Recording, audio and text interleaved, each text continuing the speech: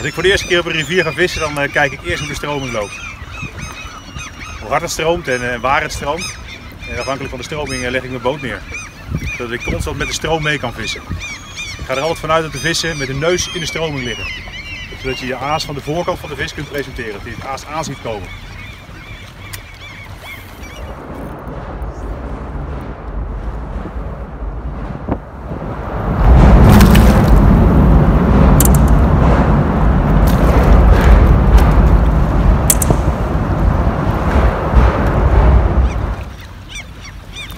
Kijk, nu vis ik met 10 gram. Het is hier een meter of 7 diep. Ik kan mooi bodemcontact houden en ik heb een prachtig afzeefmoment van een eh, seconde of 3, 4. Waardoor ik de meeste kansen maak volgens mij. Lukt dat niet, moet je zwaarder vissen.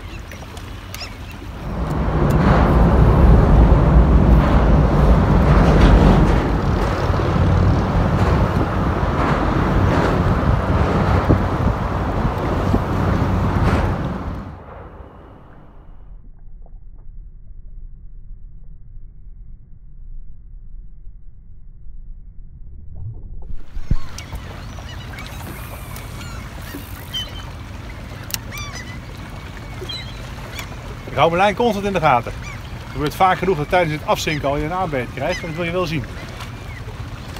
Op een gegeven moment voel je dat je je lood en je shit de bodem raakt, dan valt je lijn iets slap en dan begint het binnenvissen. Je kunt langzaam draaien, je kunt niet omhoog tikken en je af laten zinken. Aanbeten komen meestal tijdens het afzinkmoment.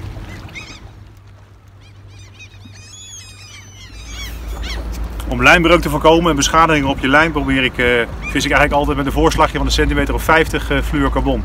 Niet al te lang, want ik ben altijd bang als ik uh, de knoop die ik maak met mijn hoofdlijn te vaak door mijn ogen gooi, dat ik, toch een, dat ik toch die knoop kapot gooi op een gegeven moment.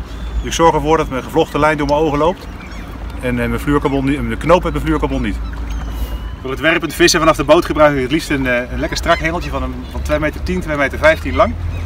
Vanaf de kant gebruik je wat langer, dan kun je best 240, 270 gebruiken, soms wel 3 meter om over de rotsen heen te vissen, over de blokken heen te vissen. En uh, in combinatie met een lekkere strakke en goede molen. En je wil alles voelen wat er onder water gebeurt, dus een, een molen waar, uh, die een beetje rammelt kun je niet gebruiken.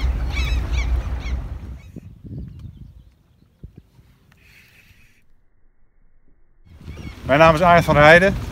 Nou, ik hoop dat je er wat aan gehad hebt en uh, vang ze!